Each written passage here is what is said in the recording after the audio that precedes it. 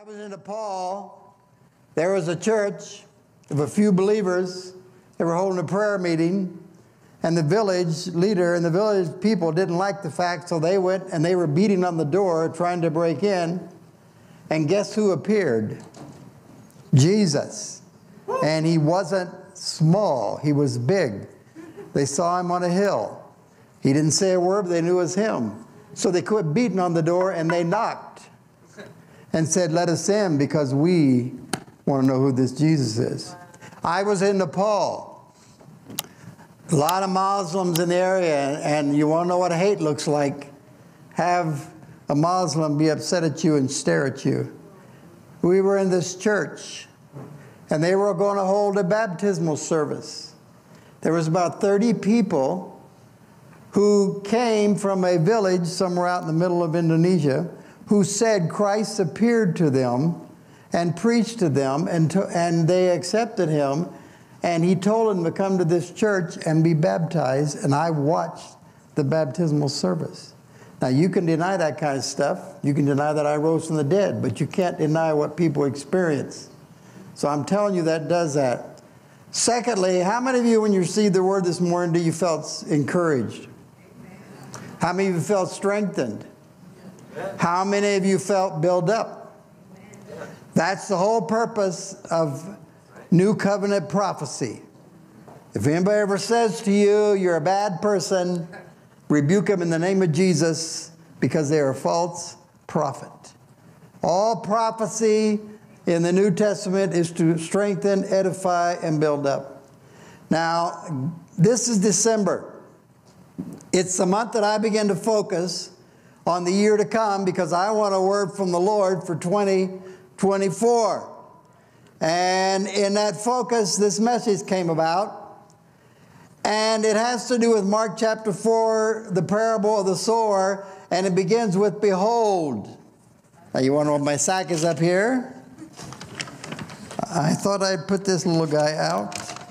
I like twat knots. I'm old people. Young people don't like twat knots. But this reminds me of uh, everything I have reminds me of a scripture.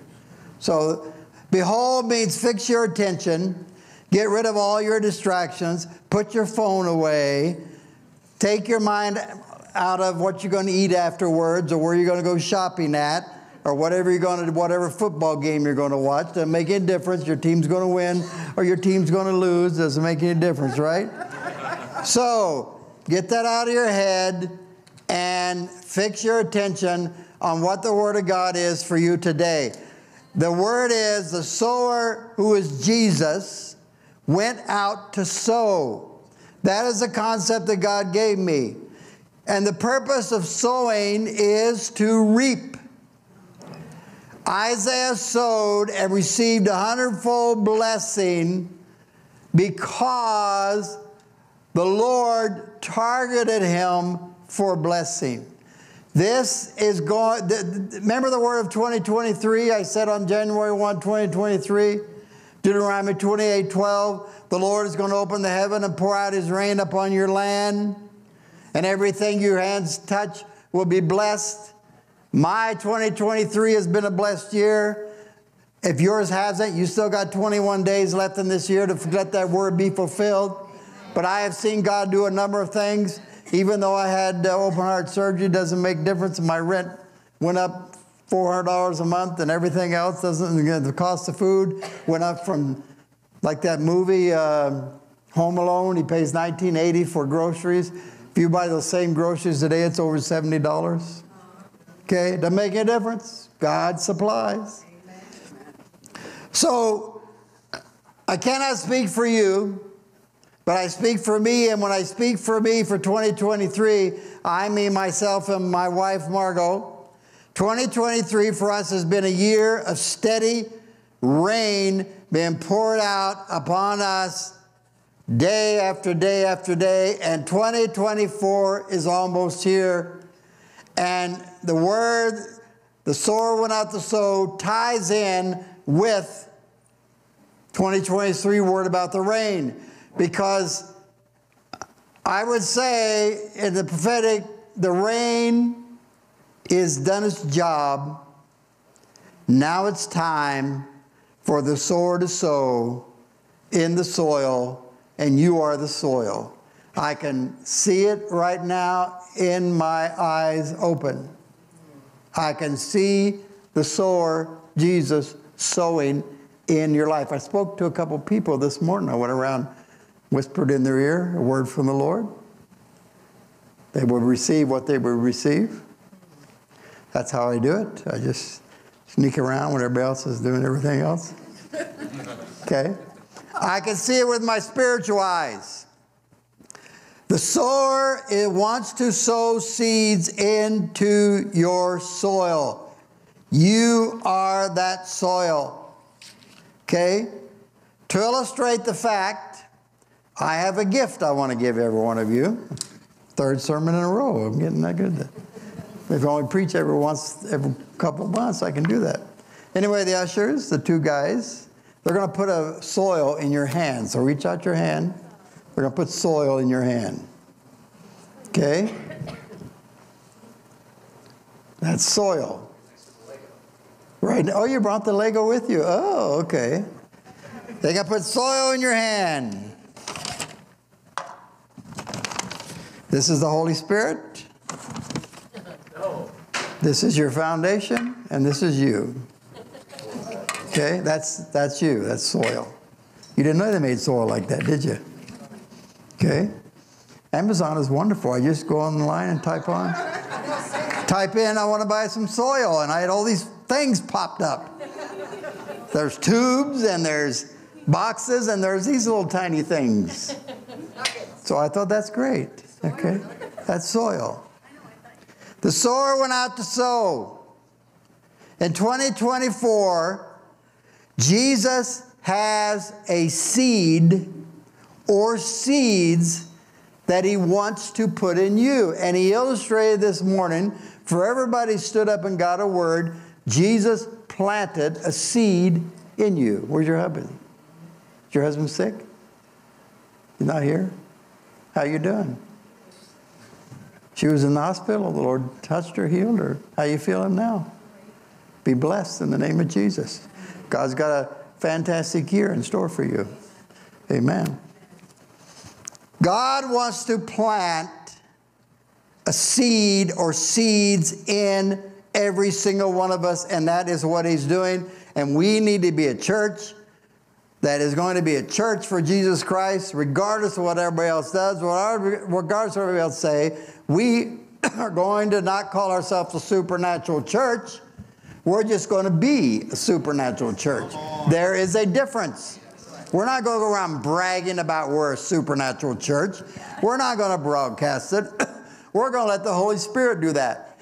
It's Jesus that builds the church daily. It wasn't the people that did it. Let's just live the way.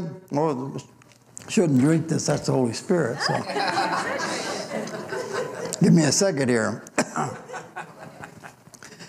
he, the sower, scatters seed. He doesn't plant it, he scatters it. Okay? And there's seeds on the ground. In the parable, a lot of people say there's four types of soil. That's not true. There's only one. and the sower sows. He sows the seed, scatters them about so that they can go into the soil and germinate. the seed Jesus wants to sow, nobody's got me any water. I guess I'm going to have to drink this. Somebody grab me a water?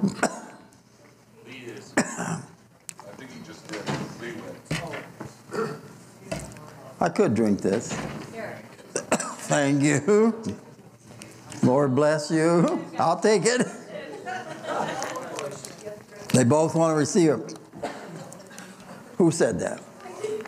They both want to receive a blessing. Now I got three waters. Well, this one didn't have a label on, so I know. I'm kind of crowded up here. The, G, the seed that Jesus wants to sow in you is your seed. It cannot be sowed in somebody else. And you cannot desire what is sowed in somebody else's life.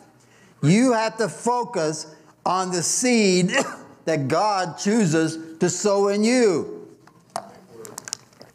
If you plant, you drop a seed corn in a garden, you don't get over there and get upset and say, Well, where's all these peas that I planted?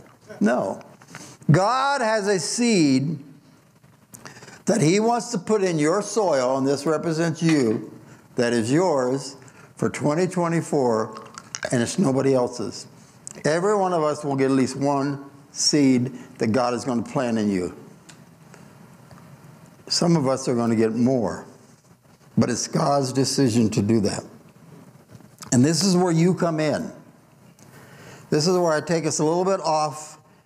Most of the commentaries say about this. They focus on the sower, they focus on the seed. I'm going to focus on the soil. You are the soil. The God is ready to sow into you for 2024, but there's three dangers that will stop the seed that God wants to sow from going into your soil and germinating. Okay? Now, why does God want to sow seed in us?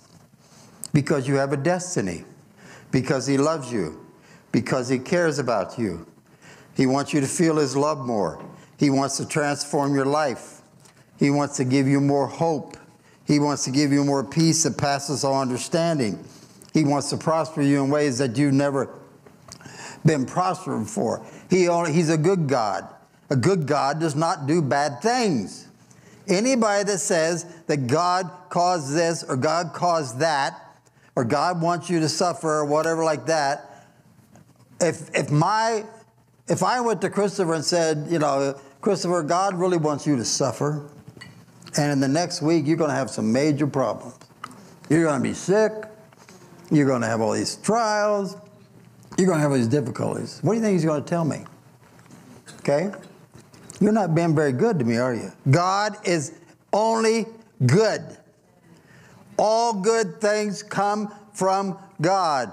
Don't ever accept the fact that God is withholding anything from you. Take responsibility for yourself. The first danger of you as soil is you're liable to be hard. And some of you this morning may be hard. You've been walked on, you've been abused, you've been ridiculed, you've been rejected, you've been told you're no good. you you made your top of your soil hard in order to protect yourself. But no matter, doesn't make a difference. You are responsible to seek to understand God's word. It's a job of a preacher or a teacher to help you understand the word. It's not to reveal what the word says to you. Hard, a hard ground believer, if that's you, the Bible gives you the formula of breaking up the hard ground. Proverbs 2 Turn your ears to wisdom and concentrate on understanding.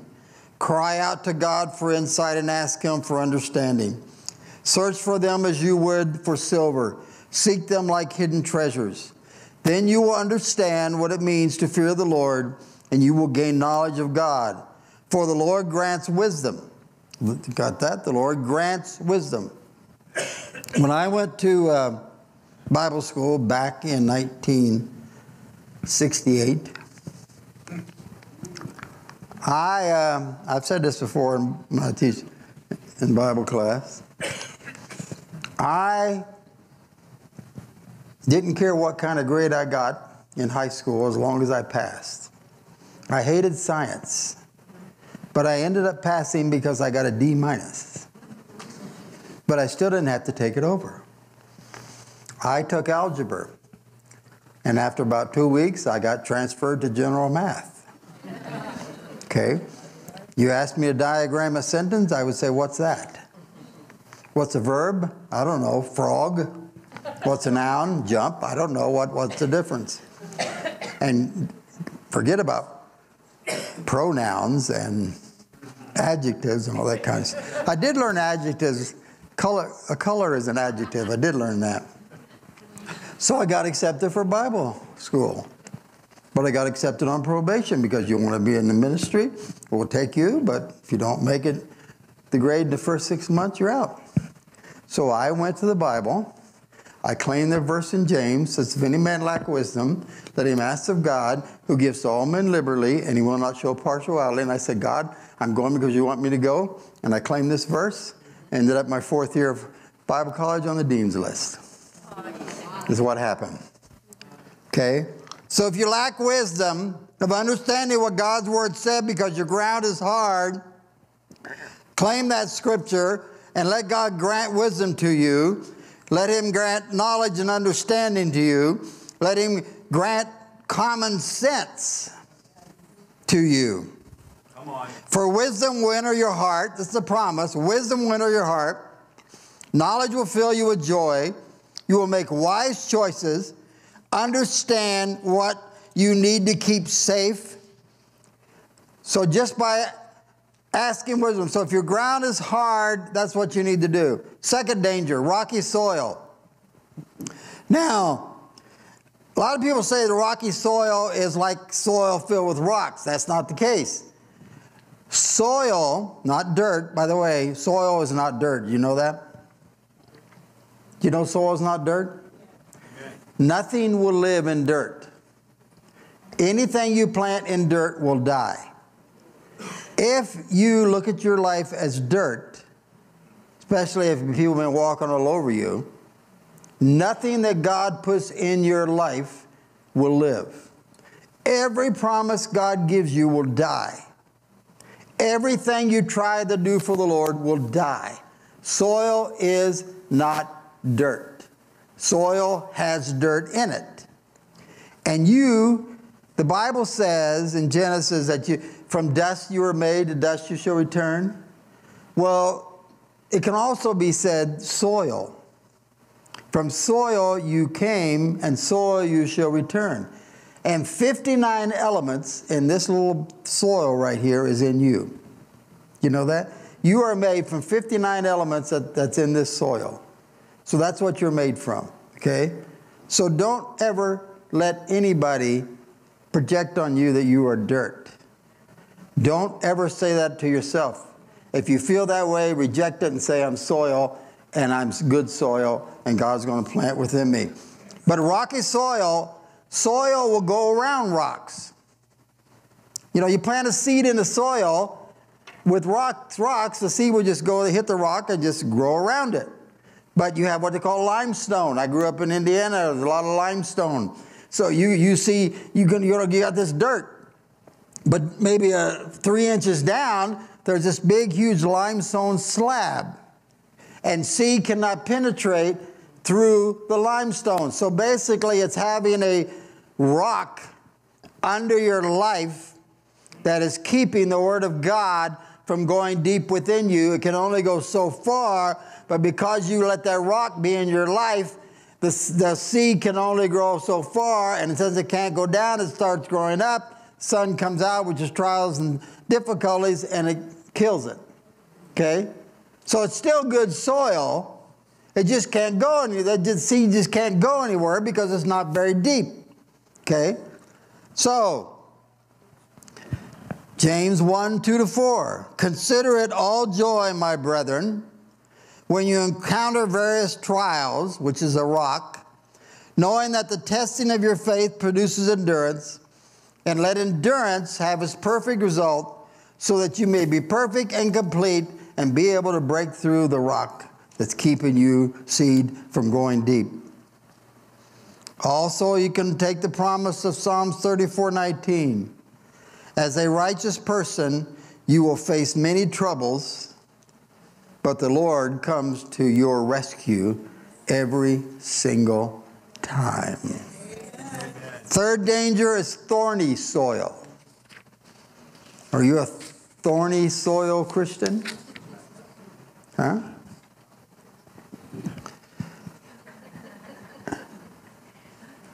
You know, Matthew says thorny ground is cares of the world and deceitfulness of riches. Mark adds those two, plus he adds the lust of other things. And Luke goes on to add the pleasures of this life. So a thorny ground believer is best described as a worrywart or a nervous Nelly. Okay?